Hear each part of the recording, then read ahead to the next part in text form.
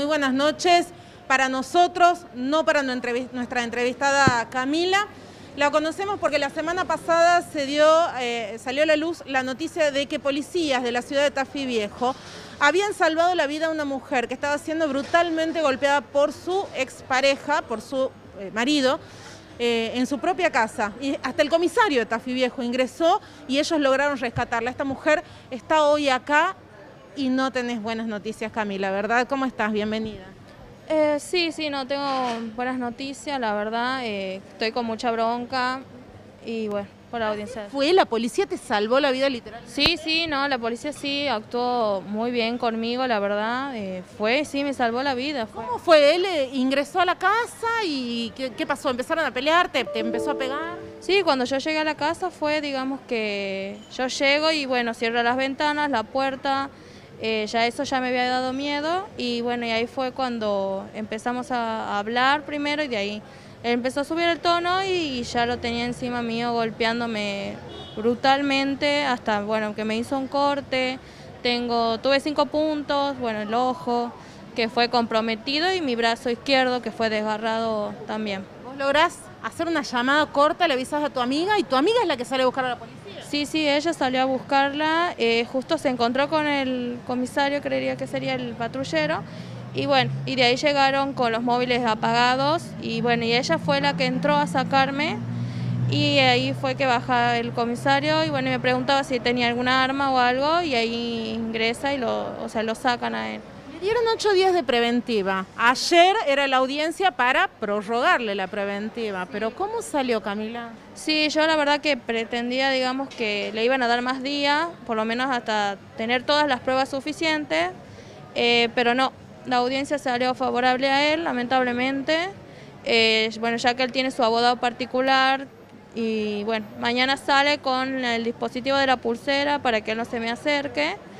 Eh, tiene que estar a 500 metros y bueno, se irá a vivir a, las talitas, digamos. Quiero que me contés en cámara lo que me dijiste fuera de cámara, que qué fue lo que él te dijo. Yo caigo ahora. Sí, en el momento de la detención, eh, sí, sí, él me dijo, yo voy a salir, te voy a matar, o sea, si yo seguía con esto, con las denuncias y todo eso, sí. ¿Cómo vivís estas últimas horas del preso? Porque mañana, a esta misma hora, ya va a ser otra, otra la historia. Sí, no, la verdad que sigo con pánico, no duermo, anoche no dormí nada, ni una hora dormí, la verdad. Eh, no, la estoy pasando muy mal, muy mal. Eh, tengo mucho miedo porque la pulsera eh, serían 60 días. él le pueden sacar la pulsera y empezar a hacerme la vida imposible de nuevo. Camila, ¿qué sensación te deja? Me imagino que cuando viste llegar a la policía dijiste, bueno, estoy salvada. Que la policía te haya salvado y que la justicia ahora la verdad injusto, injusto porque bueno, yo sé que los policías actúan y en el acto lo, metieron preso a él, eh, actuó bien, pero bueno, ya el tema queda en el, en el juez. No tiene responsabilidad la policía, la policía sí es la que se arriesga, porque no sabían si él estaba armado. Sí, ellos se arriesgaron bastante, para nada, lamentablemente. Solamente sí me salvaron, pero él ya mañana queda en libertad. Camila, si te estuviera viendo el juez en este momento, que es probable, puede ser, ¿qué le dirías?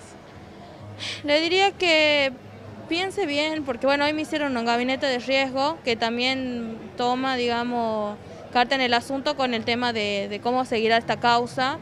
Que piense bien, lamentablemente, porque a mí no me parece justo, yo no voy a estar tranquila nunca más. Desde mañana yo no estoy tranquila y que sí, bueno, espero que nada me pase, porque el cargo de conciencia, la verdad, no, no se lo deseo a nadie. Gracias, Camila. Gracias. Bueno, es el testimonio. Camila sale a buscar a la prensa justamente eh, porque la justicia no le ha dado respuesta. De hecho, aunque parezca increíble, aunque tengamos el testimonio de los policías que le salvaron la vida, semejante operativo para rescatarla a ella de la casa, el problema es que la causa sigue caratulada, escuchen bien, como amenazas y lesiones. Es decir, que este hombre, en caso de ser hallado culpable, tiene un máximo de pena de dos años. Mariana, y ese es el problema, no está caratulado como intento de homicidio. Dani, sí te escucho. Mariana, teniendo en cuenta lo que la joven, la víctima, declara y ante el inminente peligro que está corriendo ante esta decisión de la justicia, eh, ¿pidió custodia eh, policial que le asignen en su domicilio, por ejemplo? Te anticipo que no, pero le transmito la, inquietud. ¿Cuáles son las medidas de protección que te pone la justicia? Custodia, tobillera, dispositivo dual, contanos Solamente me dan un dispositivo que seguro mañana me van a estar llamando para dármelo de la comisaría. Y bueno, y a él la, la, tobillera nada más, es lo único. No tengo custodia, nada, nada de nada. Lo que sí, bueno, me salió la previsión de acercamiento de la familia de él también. Pero la verdad que no, custodia no, absolutamente nada. El dispositivo dual les vamos a comentar que es un aparatito cuadradito, del tamaño de un paquete de cigarrillos más o menos, que salta una alarma y le avisa a ella cuando el agresor está a menos de 500 metros y además informa al 911 de manera automática.